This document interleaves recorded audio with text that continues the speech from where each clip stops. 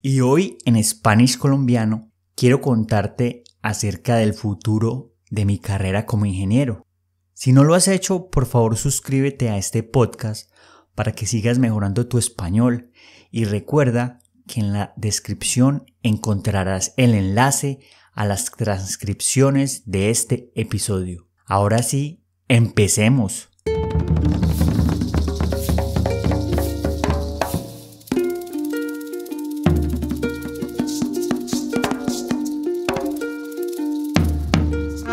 Bienvenidos a Spanish Colombiano. Mi objetivo aquí es enseñarles español mientras conocen la cultura colombiana. Ya sea que quieran hablar español como nosotros los colombianos o simplemente conocer nuestra cultura, han llegado al lugar correcto. Yo soy Jorge. No soy profesor, no soy tutor, simplemente un amigo colombiano.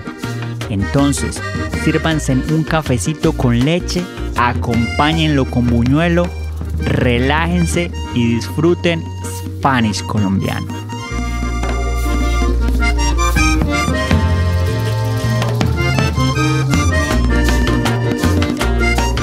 Los últimos días han sido días de mucha reflexión, mucho pensamiento. He estado pensando en mi futuro como ingeniero y qué camino tomar. Empecé a preguntarme a mí mismo qué es lo que yo quiero, qué me hace feliz. Y también empecé a preguntarle a varias personas su opinión.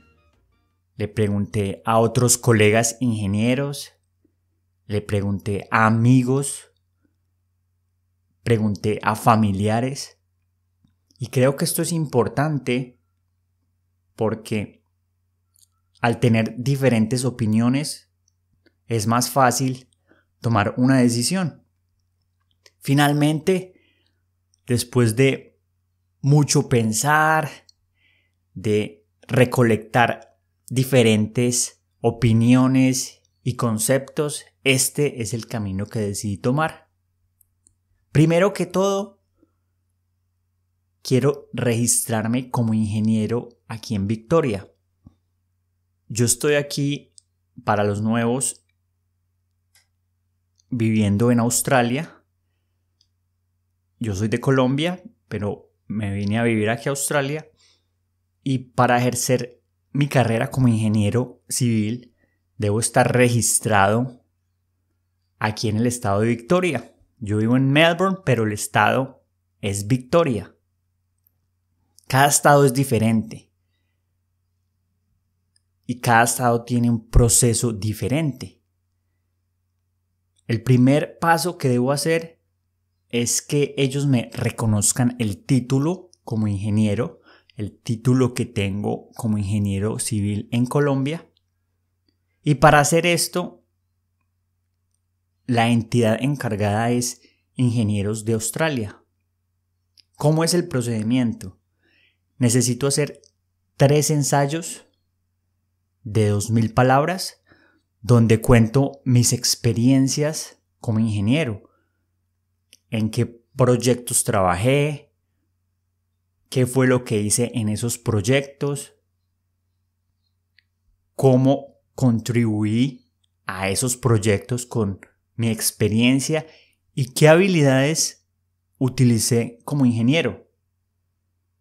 Aparte de esto, debo enviarles a ellos un certificado laboral de los lugares en los que trabajé, mi título como ingeniero, las notas que obtuve cuando estaba estudiando ingeniería y otra cosa importante, todo esto es en inglés.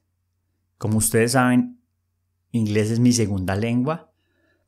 Entonces, yo los entiendo cuando ustedes quieren escribir o manifestar sus pensamientos en otra lengua. Es complicado, pero no es imposible. Y finalmente ellos me piden un examen de inglés. Yo ya lo tengo, pero este examen vence en enero. Entonces tengo que hacer todo este procedimiento antes de que se venza ese examen, antes de enero. Mi meta es enviar toda la información y terminar los ensayos en diciembre. Ese es el primer paso. Si lo logro, ya puedo firmar planos aquí en Australia, ya puedo ser reconocido como ingeniero y ya puedo ejercer mi carrera como ingeniero. Ese sería el primer paso aquí en Australia y el primer paso en mi carrera. Después de hacer esto, lo segundo que quiero hacer es registrarme ante Ingenieros Australia. Es la misma entidad que revisa los ensayos, pero la diferencia es que esto es un reconocimiento nacional. Es decir, ya sería reconocido en toda Australia como ingeniero y podría más fácilmente ejercer mi carrera en otros estados como ingeniero. El procedimiento es el mismo, se necesitan los tres ensayos, pero la ventaja es que si yo logro registrarme en Victoria, es decir, el paso 1, con estos mismos ensayos podría yo aplicar a ingenieros de Australia. Lo único diferente es que se debe pagar una mensualidad para estar inscrito y esta mensualidad vale la pena porque le dan a uno capacitaciones, seminarios y le envían a uno información acerca de la industria de la construcción aquí en Australia. El tercer paso, y creo que los que me han seguido en este podcast y en el canal de YouTube bastante tiempo saben que es uno de mis sueños, es empezar mi maestría en protección contra incendio. Esta maestría está aquí en Australia, cuesta 100 mil dólares y es por tres años. Yo soy ingeniero civil, pero la maestría que deseo hacer es en protección contra incendios, porque esa es mi pasión, eso es lo que me apasiona, lo que me gusta y lo que me despierta la curiosidad. Para realizar esta maestría necesito ser residente aquí en Australia, tener residencia permanente, porque solo está disponible para residentes o ciudadanos australianos. Entonces, antes de hacer esta maestría, lo que debo hacer es convertirme en residente para poder luego aplicar. Y siendo residente, también puedo aplicar a subsidios del gobierno para que el valor de esta maestría sea inferior o por lo menos pueda pagar en diferentes cuotas. Yo lo que quiero hacer es estudiar esta maestría y no lo hago por de pronto ganar más dinero o por ser reconocido, lo hago por curiosidad. Ahora en la empresa que estoy trabajando se me han generado muchas dudas e inquietudes acerca del comportamiento del fuego y por qué nosotros utilizamos diferentes normas y diferentes artefactos para detectar y controlar el fuego. Esa curiosidad es lo que me motiva para hacer la maestría. Sé que puede ser muy difícil estudiar y trabajar tiempo completo al mismo tiempo, pero es algo que si no lo hago me voy a arrepentir. Después de hacer esta maestría, quiero obtener la certificación como diseñador de protección contra incendio. Hay una asociación aquí en Australia llamada la Asociación de Protección contra Incendio y esta asociación se enfoca principalmente en entrenamientos y capacitaciones para profesionales en protección contra incendio. mi objetivo es aplicar, pasar los exámenes, porque se necesitan exámenes especializados para poder obtener la certificación. Y también se necesita mostrar experiencia trabajando en ese campo. Entonces, ese es el cuarto paso del futuro como ingeniero, obtener la certificación como diseñador de protección contra incendio. Luego de hacer esto, lo que quiero es estar registrado como ingeniero colegiado. ¿Qué es un ingeniero colegiado? Es el más alto reconocimiento que se le da a un ingeniero. Y depende de cada país. En este caso, en Australia, Ingenieros Australia es la entidad encargada de hacer la valoración y el análisis para darle al ingeniero el título como ingeniero colegiado. Y para ustedes poder hacer esto se necesita ser guiado por un tutor o un mentor quien ya es ingeniero colegiado y se necesitan más de 10 años de experiencia y obviamente pasar algunos exámenes. Este es una meta que tengo a largo plazo, pero sé que se puede cumplir si se sigue trabajando y se sigue siendo disciplinado.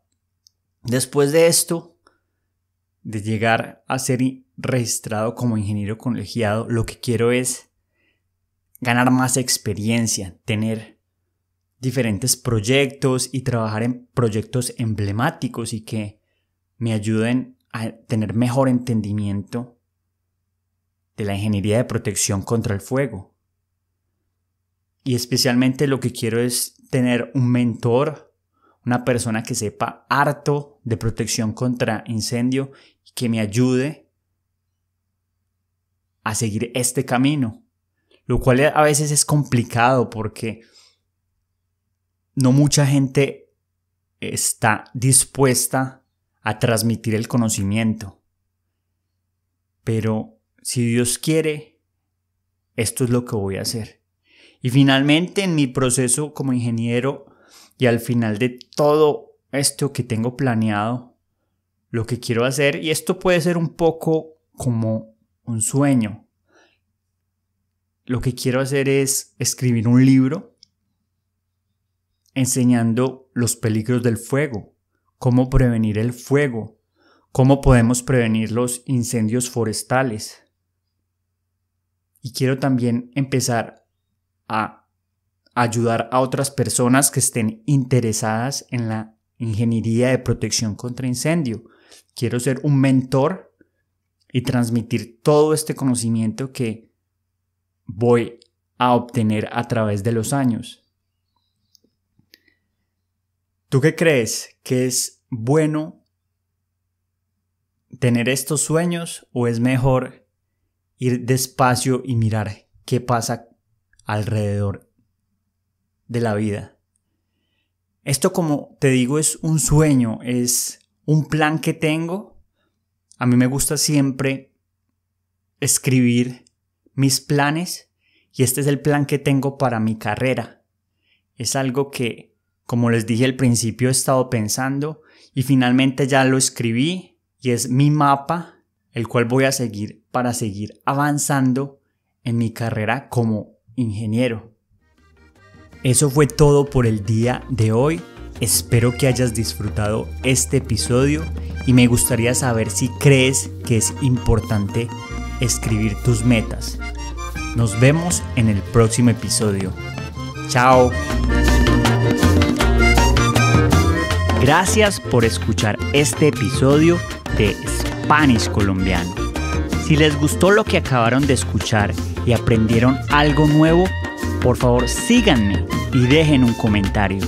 Esto me ayudará a continuar trayéndoles más contenido y ayudará a otras personas a encontrar este material de aprendizaje. En la descripción de este episodio podrán encontrar los enlaces a mi canal de YouTube y a mi Instagram, donde tendré contenido adicional en español. Sigan practicando y recuerden, persistir, insistir, nunca desistir. Nos vemos, chao.